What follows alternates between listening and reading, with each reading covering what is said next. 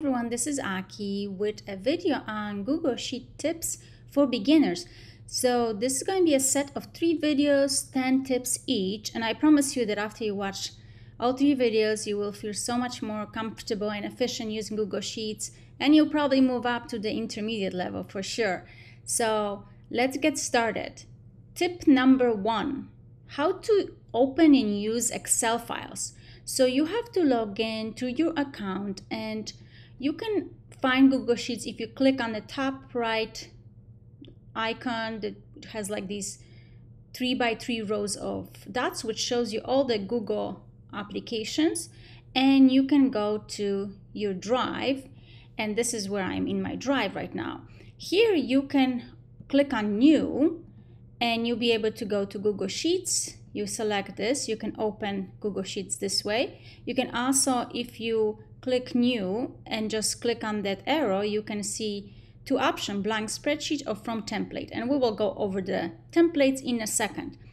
So this is to open an empty file. Now, if you want to open an Excel file, there's a couple of ways to do it. You can either go to the files you have. So I have a couple of files here and I have CSV file and then Excel file. And I can just take these and actually drag it to my drive. So I can drag it this way and then I actually can double click on the file. Let's say I'm going to open this file and what will happen, Google Sheets will open it, either right away convert it for you or let me show you with the CSV file. If I double click on it, it opens kind of like a preview and now you can click on the open with at the top and select Google Sheet. So that's the way to do it. Now you can also, if you in, you know, you in your drive, I can go back here and I'm going to go to Google, Google Sheets one more time and blank spreadsheet. You can also go to file at the top and say open.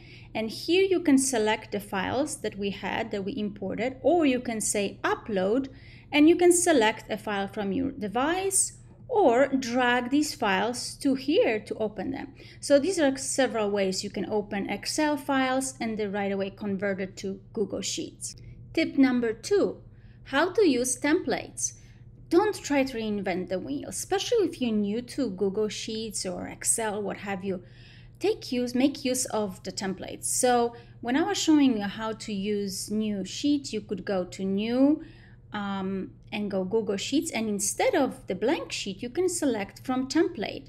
And Google Sheets has several templates, and I'll show you in another video how you even get more. But this should really cover your needs, the basic needs of budgets, calendars, uh, invoicing, uh, project tracking, and so on. And whichever you would like. So let's select the monthly budget. So if you just click, single click, it opens for you and now I can use this. Let me show you the tabs. Right now there's two tabs and I can click on them and I can make it my own. Right now at the top it says this is the name, but I can just select it and say my budget worksheet. And it tells me it's in my drive and I can start it to make it favorite. So right now it's saved on my drive. What I also like using the templates, it's also sometimes for formatting. So you can just have a lot of this formatting done for you and you can get started and you can move things around, but you have something that's already you know, nicely done for you so you don't have to reinvent the wheel. Number three is how to move your file to a folder or wherever you like it. So right now, it's showing me, where does it show? See where if you select the name of your worksheet, or um, the, Google, the Google Sheet, it tells you where it is. But if you want to move it, um, you can just unselect the name and now you can say move and you can select a folder where you want to move it. And I'm going to put it maybe in this one. And you can also go further and then you can also add new folder there. So maybe I'm going to say test folder and I'm going to say yes. And I say move my worksheet there. And now the, the worksheet has been moved.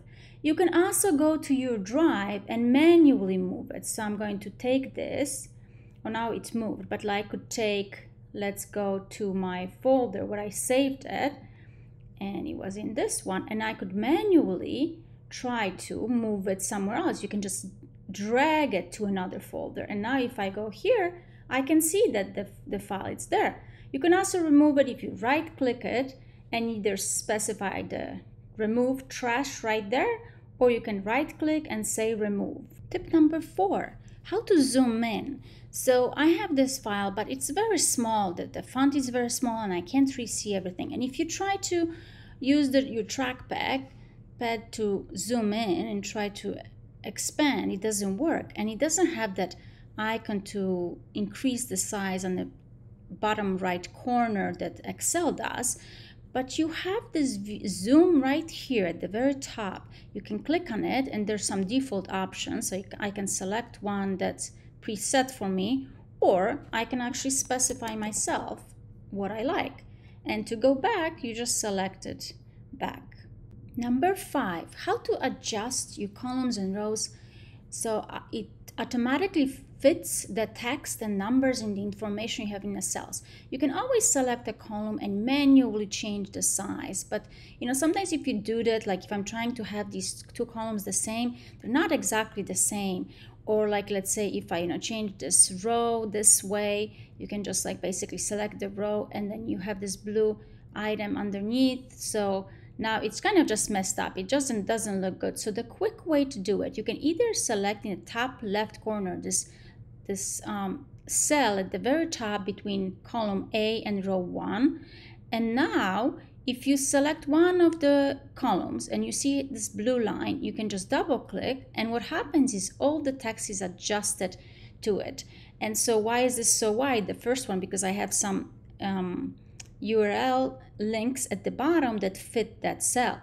And I can do the same thing to the rows. If I see that blue line right there, I can just adjust the size. And then I can also just change it for some of them manually. But at the same time, I know now that things are looking much better because everything is fitting the columns.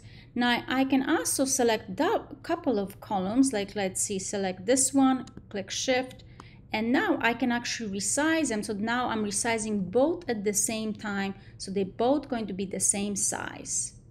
Number six, how to add or remove columns and rows.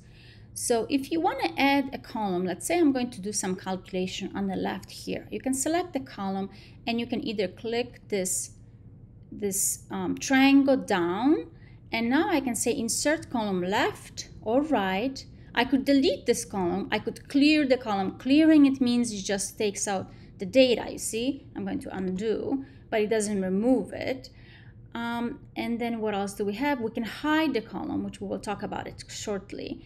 And we can resize the column. So um, I'm going to insert a column left. And let's say I have some rows here that I want to remove. I can click on that. And I don't have the triangle option there. So you can right click and you get the same option and I can say delete this row because I don't want these rows in between to clean up my data and there's another one here that I want to remove I can just delete it right there if I want to add a row and column one trick is basically let's say if I want to add two columns I can select two columns and then click this and now I have two column option. If I just select one, I will have to do it twice. So however many you select, if I'm selecting, let's say, I'm selecting third row and I'm clicking shift, I'm selecting the eighth one. So then it selects all the rows in between.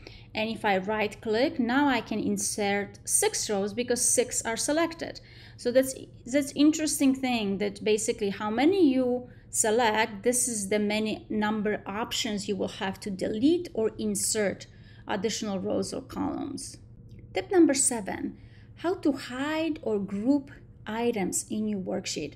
So um, let's say, you know, I have this housing information, subcategory information here, but I just want to have the, the, the top number showing up. I can just select one row and the quick trick is to select multiple. If you select it, it's selected, it's in like in blue and click shift and I'm going to go to the list items. Now it's selecting everything. You can right click now to get to this option we talked about and now you can hide it. So when you hide it, you have these arrows up and down and once you click on it, you actually will unhide it and you can do the same thing let's say I'm going to hide this column, I can select this triangle right there and say hide column. And this is the way to unhide it. Now you can also group it so then it will show up a little bit differently. So I like grouping personally. So because I feel like you can see the data that it's there um, more than if it's just hidden. So I'm going to select row six, shift, select the last one. And now to group it actually it's not the option. You don't right click it's actually i don't like it too much how it's in the view option but that's how it is. In excel it's differently. You can get to it. But you go to view group and you say group row 610 and now you have this little plus then showing up. So to me it's just easier to see that there's something going on there versus just hiding it. So i like using you know the group option personally. And this is the way it shows you know. It's kind of funny because it shows up on a column or row before. So you see the column C and it shows up the plus right above B. If you want to change the grouping or ungrouping like if it's grouped and you want to change it you don't want this grouping anymore. You select the column or the row you go to view group and now you can ungroup it quickly so that's the way to do it tip number eight is being able to move rows and columns manually. Actually, it's my favorite thing, uh, one of my favorite things uh, about Google Sheets uh, in contrast to Excel. Um, I love how I'm able to take any row, let's say this personal care, and I want to move it. I don't have to right click and cut and, and make a, a add a row and move it there. I can just grab it. You see this hand icon just showing up right there? I can just grab it by clicking on my tracker or mouse and basically I can move it I'm going to move it maybe here.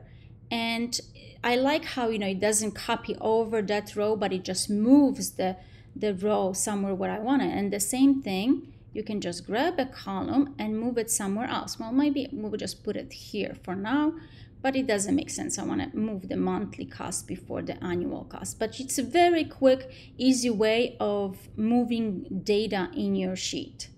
Tip number nine, how to move about your worksheet quickly. And now all the shortcuts that I mentioned in the videos are for Mac, but I will put the PC versions for the shortcuts in the video so you have that in case you're using PC. But let's say I'm in this worksheet and I want to quickly go to the end. I don't have to just use the arrow up and down like this. The quick shortcut for Mac is using Command and then the arrows up and down and basically it moves to the next place in data. I want to go to the end and then you can go to the end of your worksheet. You can go to the top of your worksheet. You can also click command home or command end on your um, keyboard and that's a way quick way to kind of move about. You can also if you click this and I'm going to click shift command, I can select at the same time and I can move the arrows and I can quickly select you know, let's say this is the area that I want to select, I want to do something with it. So it's a quick way to moving about. And once you figure out at first you might not feel comfortable, but I promise you, you will like moving about your worksheet quickly this way. Tip number 10, how to find and replace information in your worksheet. So maybe there's some things that you, you know, you made a mistake and you want to replace a word or um, some formatting or data in your worksheet and you just don't want to have to go find it whereas every occurrence of it. So the quick way to do it is to click anywhere on a worksheet. You can click command F to find and I'm going to say the word cost. And now actually you can see where the cost has been, it's highlighting in green. And now I know it's one of two. So there are two instances of that word. And I can click on the arrow right here to move to the second instances.